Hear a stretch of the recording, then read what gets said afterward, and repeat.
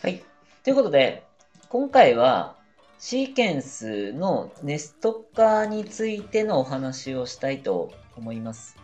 シーケンスのネスト化っていう話はよく聞くこともあるかもしれませんが、これ一体何のためにするのかっていうお話です。ということで、まず通常通りシーケンスを作成して動画を作りますよというときに、まあ、例えば、一つ動画を作りましたと。まあ、これ何でもいいんですが、まあ、ただ静止画、画像を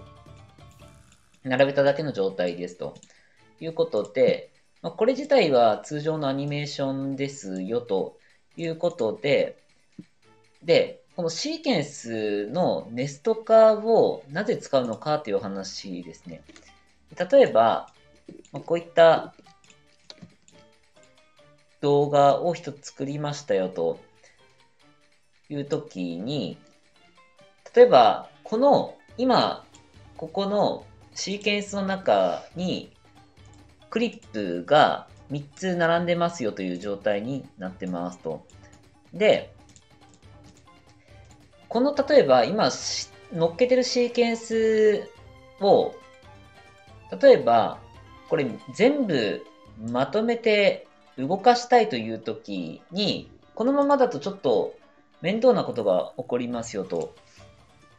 例えばこれ3つもし右にずらそうとした時にどうしないといけないかというと、まあ、1つずつこうやって位置を、クリップの位置をずらしていきますよと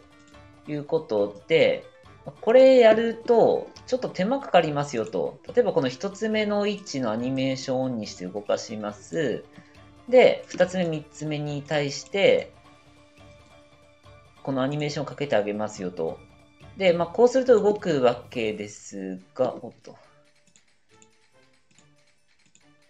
まあ、こうすれば動くわけですが、ただこうすると、3つとも同じようにアニメーションをかけないといけないというのが、まあちょっと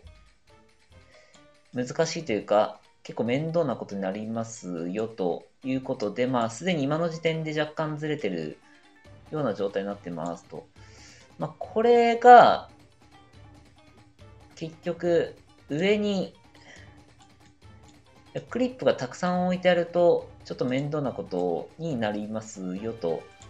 いうことで、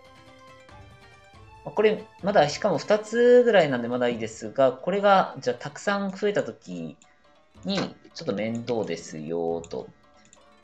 いうことで、例えばじゃあこれが、さらに増えましたとすると、まあ、ちょっと面倒なことになりますよ、ということで、これを、例えば、全部まとめて同じ動きしたいなと思った時にネスト化っていう方法を使いますよということで、じゃあどうするかというと、まずちょっと一旦アニメーションを全部消してしまいますということで、ちょっと一旦アニメーション全部消しますと。んで、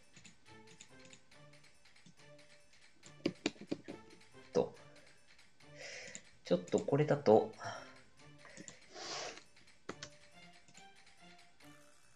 ちょっと一旦アニメーション全部オフにしますということで、よいしょ。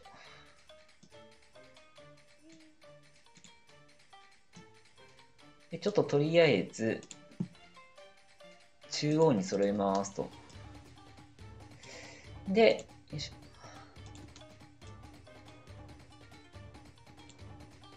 はい。ということで、全部揃えたら、はい。これを、シーケンスをネスト化しますということで、はい。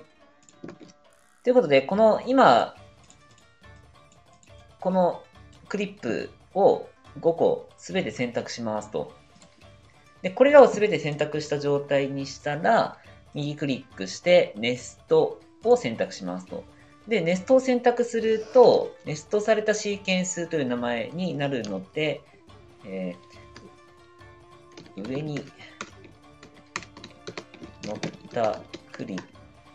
プたち。まあ、何でも、名前は分かりやすいように何でもいいんですが、シーケンスの名前を付けて OK をしますと。すると、これ、一つのシーケンスとしてまとまりますと、今、5個載ってたものが一つのシーケンスにまとまりましたということで、これ見てもらうと、シーケンスが新しく一つできてますと。で、このシーケンスを開くと、はい、このように今作った、今5個載ってたこのクリップたちがまとまった一つのシーケンスになってますよということですね。で、こうすると何がメリットかというと、このシーケンスが一つにまとまることで、例えばスケールの値を変えると全部一斉に動きますと。で、位置を動かすと全部一斉に動きますということで、この今上にもともと乗っかってたシーケンスが、あとクリップが一つのシーケンスとしてまとまるので、まとめて動かそうと思った時に、まとめて動きますよということが起こりますということで、これをしてあげると、全部一斉にきれいに動かすことができますよということですね。はい。ということで、もし、このクリップをまとめて動かしたい、例えばサイズを大きくしたいとか、位置を動かしたいというときは、このシーケンスのネスト化という方法を使ってあげると便利ですよというお話です。はい。ご参考いただければと思います。